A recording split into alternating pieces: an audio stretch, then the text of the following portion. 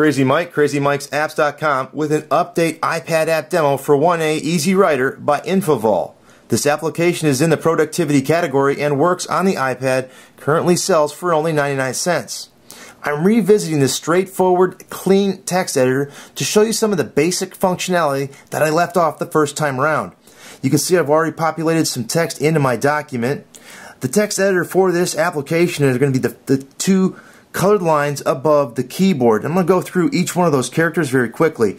You have here on the far left a lowercase a, and this is going to lowercase the word, the letter at the beginning of the word that you have the cursor at. As well, the next button over will uppercase the, the first letter just as it did. There's an undo button there, and then you can also do or you have a do button. So a redo button and an undo button.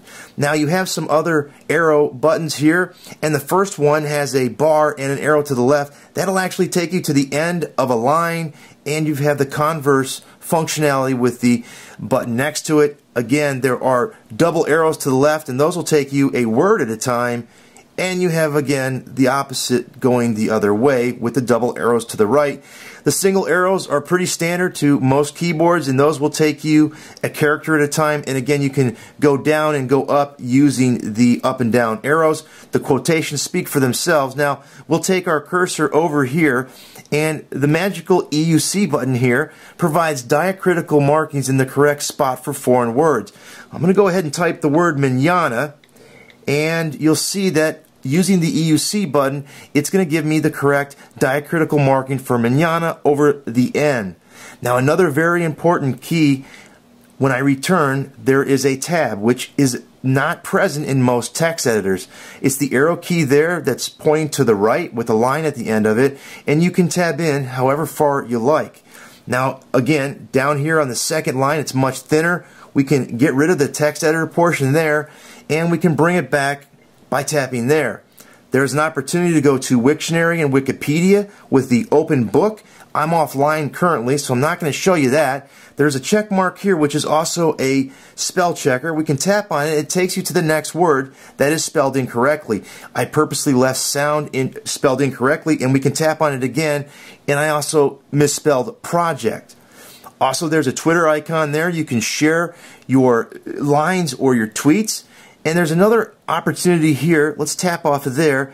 You can actually use this as a cut and paste area to go to the specification that you set. So you can guide over to the whole word. And then this middle portion will actually take you for a word or more than a word for a couple of words or several words and then as well as a whole line. And you have the functionality on the far right here again that works just like the A button does here or the first one on the left.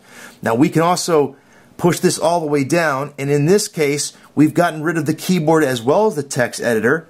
And on the bottom, you're going to see an on and off button. If we tap that off, we're going to go into read mode, and there's going to be no opportunity for us to edit anything at this time. So we'll go ahead and put that back on. You can see also that we have three different documents that we can have at a time. We also have a folder which we can sync through iTunes file sharing, Dropbox, and iCloud. And then lastly, over here, you have a box with an arrow in it. And in here, you can actually copy your text to the clipboard, save as in your document folder, send an email, send an email attachment, again, send a tweet. Cool thing here is you can open the app up in other applications you may have on your iPad, which can be very handy. And again, you also have the ability to AirPrint, and we can upgrade to the other app uh, that they make as well, which is an upgrade in this app that has more functionality. That's it for this update iPad app demo. Until next time, this has been Crazy Mike from Crazy Mike's Apps saying see ya.